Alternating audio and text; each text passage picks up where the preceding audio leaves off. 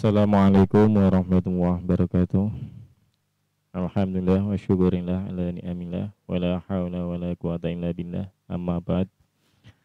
Alhamdulillah di pagi yang cerah ini kita bisa bertemu meskipun tidak secara tatap muka dengan cara daring yaitu dalam jaringan semoga senantiasa dalam lindungan Allah SWT diberikan kenikmatan anugerah sehat walafiat ilmu yang bermanfaat tetap iman Islam. Amin. Allahumma amin. Semoga pagi hari ini kalian bisa memperhatikan secara betul-betul. Jangan sambil ya bercanda dengan temannya yang di pondok yang di rumah. Ya fokuslah. Saya akan melanjutkan dari materi yang sudah dipaparkan oleh Pak Eko yaitu tentang teks laporan hasil observasi. Namun sebelum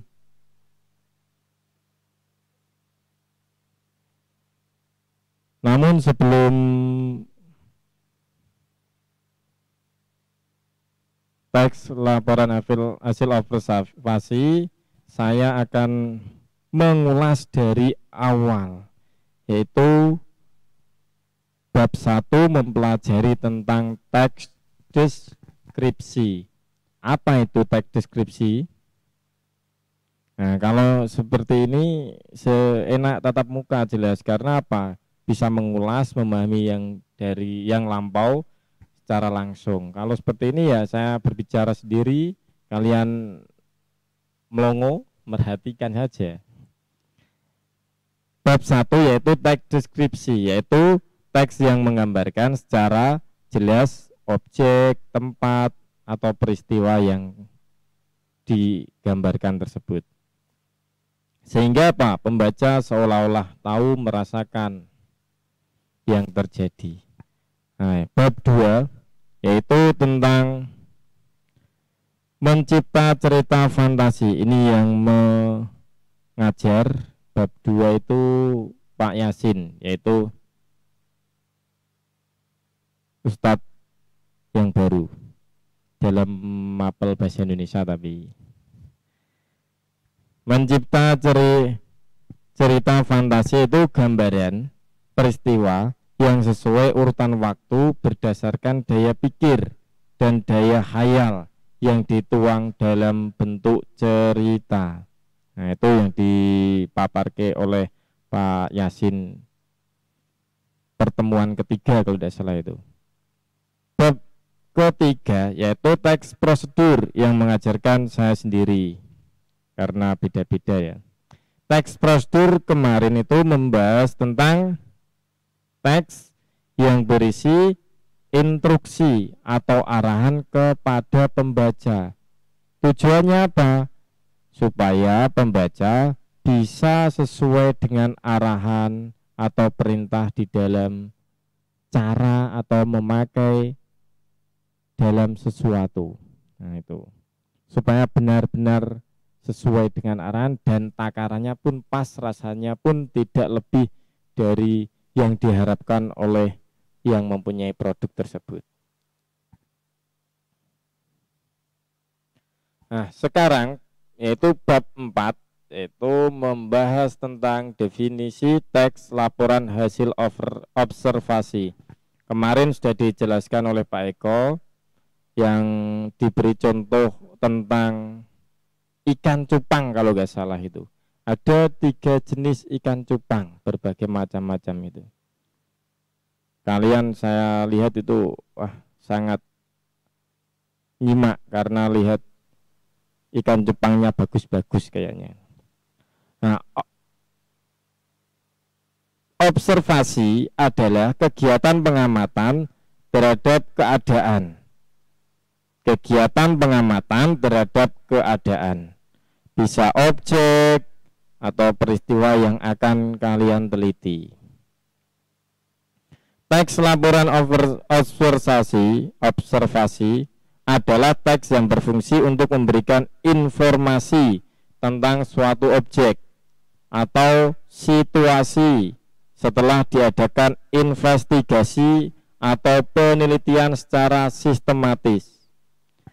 Nah, ini kalian wajib kalau mau membuat harus melaksanakan kegiatan dulu. Setelah kalian melakukan atau melaksanakan kegiatan, baru bisa membuat laporan hasil observasi tersebut. Ciri dan tujuan. Ciri, tujuan, dan isi teks laporan hasil observasi. Disusun secara cermat bersifat meyakinkan. Dapat dibuktikan kebenarannya atau berupa fakta yang benar-benar terjadi tidak bisa dianggap atau tidak diragukan lagi. Itu yang dinamakan dibuktikan kebenaran atau fakta. Nah, disusun dengan bahasa yang jelas dan mudah dipahami nah, isi yang dibahas adalah ilmu tentang suatu objek atau konsep. Objek yang dibahas bersifat umum. Umum itu belum jauh, baru menjelaskan sebagian saja, belum ke poin-poinnya. Memerinci objek secara sistematis dari sudut ilmu. Nah, dirinci ini. Semua berarti sistematis. Nah, ciri bahasa teks hasil laporan observasi yaitu berdasarkan istilah istilah itu penggambaran. Istilah apa yang kalian amati tadi lihat tadi. Kata baku kata baku itu kata yang sesuai dengan kaidah yang disempurnakan Kalimat klasifikasi adalah sebuah paragraf yang topik utamanya dikembangkan dengan mengelompokkannya ke dalam beberapa kelompok berdasarkan sifatnya. Terus kalimat definisi. Nah itu. Informasi dalam teks laporan hasil observasi. Nah ini Langkah-langkah menemukan informasi penting sebagai berikut. Informasi-informasi penting dalam teks laporan hasil observasi itu perbandingan dengan teks laporan tersebut. Langkah Langkah-langkah menemukan informasi Informasi penting dalam teks hasil laporan Teks laporan hasil observasi Nah, kalau kalian ingin mudah menemukan sebuah informasi, kalian harus membaca keseluruhan teks laporan tersebut. Keseluruhan itu gimana? Ya mulai awal sampai akhir dengan teliti. Tujuannya kalian nanti mudah memahaminya dan cepat menemukan hasil inti dari bacaan tersebut. Yang kedua, memahami isi teks laporan hasil observasi, memahami. Kalau kalian membaca keseluruhan, pasti menemukan isi apa yang diharapkan. Setelah menemukan isi, yang ketiga, kalian menemukan ide pokok. Nah, ide pokok itu biasanya ter, dapat pada awal awal paragraf. Karena apa? Ide pokok atau gagasan utama itu biasanya terdapat di awal. Kalau enggak di awal ya di akhir. Kalau enggak di awal di akhir juga bisa. Itu namanya paragraf campuran. Kalau ide pokoknya terdapat di awal itu dinamakan paragraf deduktif yang inti pokok pikirannya di awal. Yang setelah deduktif yaitu induktif. Inti pokok pikirannya terdapat di akhir. Oh, malah ngantuk. Raihan Syah sambil mendengarkan nyampe nyaman rasane ngantuk. Selanjutnya simpulan isi teks hasil simpulan isi teks laporan hasil observasi. Nah, simpulan isi teks laporan hasil observasi dalam bentuk peta konsep. Nah, simpulan isi teks laporan hasil observasi dalam bentuk gagasan pokok. Nah, itu kalau gagasan pokok secara rinci, konsep itu inti-intinya. Masih lama ya? Lima menit lagi. Langkah-langkah menemukan gagasan gagasan pokok pada teks laporan hasil observasi. Nah, setelah tadi disuruh membaca keseluruhan, menemukan isi, menemukan pokok-pokok, nah, sekarang mendaftar, di, dicatat kata-kata kunci pada teks. Contoh gimana? Contoh so contoh tentang paragraf deduktif misalnya. Ruangan kelas 7A sangat indah dan menyenangkan.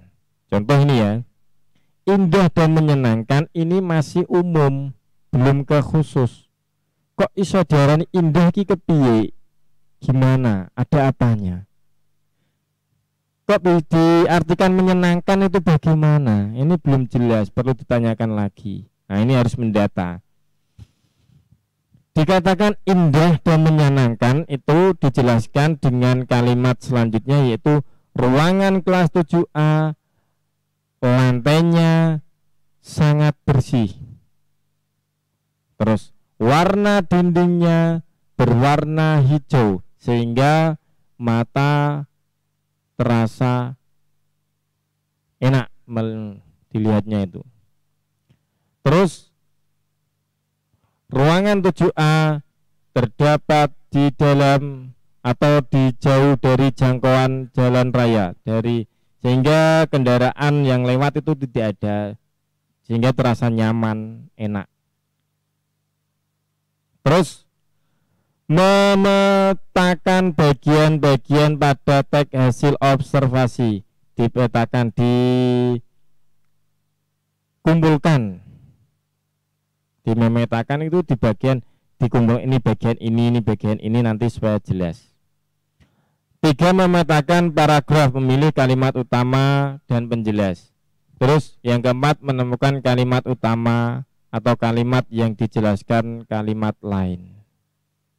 Kalimat utama dijelaskan kalimat lain itu seperti kalimat yang awal itu masih umum dijabarkan lagi ke kalimat selanjutnya. Merumuskan inti kalimat utama. Nah, itu langkah-langkahnya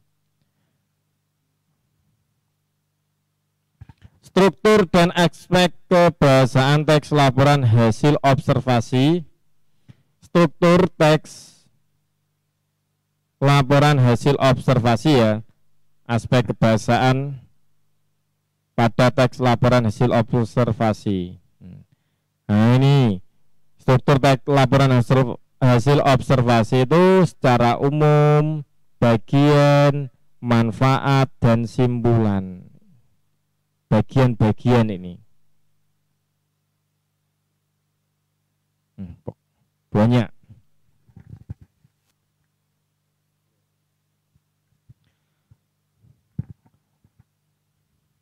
Struktur laporan hasil observasi definisi umum, umum itu belum jelas. Nah, perlu dijelaskan di bagian bawahnya deskripsi bagian menjelaskan seperti yang saya sampaikan tadi tentang ruangan kelas 7A sangat indah dan menyenangkan. Nah, itu masih umum. Bagiannya ruangan yang berukuran 7 kali 10 meter cukup untuk menampung 40 siswa. Nah, itu menjelaskan tentang bagian ruang. Nah, diartikan menyenangkan cukup untuk nampung. Terus bagian apa lagi? Ruangannya sangat bersih tadi karena lantai selalu dibersihkan atau di piket dijalankan terus sehingga terjaga kebersihannya. Deskripsi bagian dan manfaat itu bisa dibaca di dalam LKS maupun yang dulu saya kirim berupa file simpulan juga. Nah, itulah dari materi hasil teks laporan hasil observasi Demikian dari saya, semoga bermanfaat. Apabila di ada pertanyaan bisa ditanyakan. Nah, sebelum ke pertanyaan, tadi katanya ada yang tanya, alinea itu apa Pak? Ah, tadi alinea itu yang ditanyakan dari sebelum saya tadi loh, materi PKN. Itu bagian wacana yang mengungkapkan satu pikiran, bagian wacana yang mengungkapkan satu pikiran. Nah, itu yang dinamakan alinea. Terus saya menjelaskan lagi yang pertemuan keberapa itu. Pak, apa bedanya tujuan tujuan fungsi dan tujuan. Nah, fungsi dan tujuan. Nah, itu bodoh pora. Pada dasarnya itu sama tapi kegunaannya yang berbeda. Kalau tujuan itu berkaitan dengan manusia, apa tujuan uripmu? Ya golek ilmu. Nah, kalau fungsi, fungsi itu berhubungan dengan benda. Jadi kegunaannya berbeda. Nah, itulah perbedaan antara fungsi dan tujuan. Nah, itu saya jelaskan kembali yang dulu. Ya, terima kasih. Saya masih ingat karena dulu kebetulan hostnya saya, Pak. nah, anak-anak semuanya, ini saya buka e, ketika mungkin ada yang mau ditanyakan. Jadi saya persilahkan Semisal kalau nggak ada ya bisa jabri saja. Masih sepi-sepi Malah enak. ini. Ya. Monggo kalau ada yang mau ditanyakan bisa langsung di chat di kolom komentar, bisa langsung saya bacakan. Nah, ini ber, kebetulan kita berjumpa dengan Bapak uh, Bapak ahli bahasa. Ada yang tidur, ada yang memperhatikan iya. serius sambil senyum-senyum di pondok PT YHR. Oh, berarti Yanbu ya? Yanbu, ya. Deskripsi, nah ini ada Pak, di Muhammad Askamuna. Ya. Deskripsi umum itu apa Pak? Deskripsi umum. Ya. Nah, ini penjabaran yang disampaikan secara umum yang belum dirinci atau belum dijelaskan perlu penjabaran lagi deskripsi umum itu gambaran secara umum. Nah itulah yang dinamakan deskripsi. Butuh penjelasan atau butuh rincian lagi. Karena masih umum. Ya seperti tadi saya contohkan itu misalkan pondok PT PT YHR itu sangat indah. Karena apa? Sangat besar. Siswanya banyak. Terus terjaga kebersihannya. Siswanya cerdas-cerdas karena ahlul Quran. Nah itu sangat indah dan menyenangkan. Terus halamannya luas bisa dibuat untuk futsal, futsal. bersama. Nah itu menyenangkan sekali itu. Nah itu butuh penjelasan. Seperti PTIR ini cerdas-cerdas ini ya. karena bimbingannya sangat bagus. Ya, ini jadi tadi kaitannya dengan de deskripsi umum ya. Penjelasannya ini ada lagi Pak. Assalamualaikum. Ya, Waalaikumsalam. Pak minta nomor WA guru bahasa Indonesia. Ini saya yang jawab atau jenengan monggo diparingi kasih iya. saja. Dari kelas apa itu? Disampaikan kelas 7 Pak ini Pak. Kelas 7 apa ini? Kelas 7 M. MN. Oh, bukan, saya bukan wali kelas 7 ya. Iya, iya, iya. Iya. Ya, saya kasih catat ya. Sewaktu-waktu kalau butuh. Kosong. Lima. Tujuh. Dua.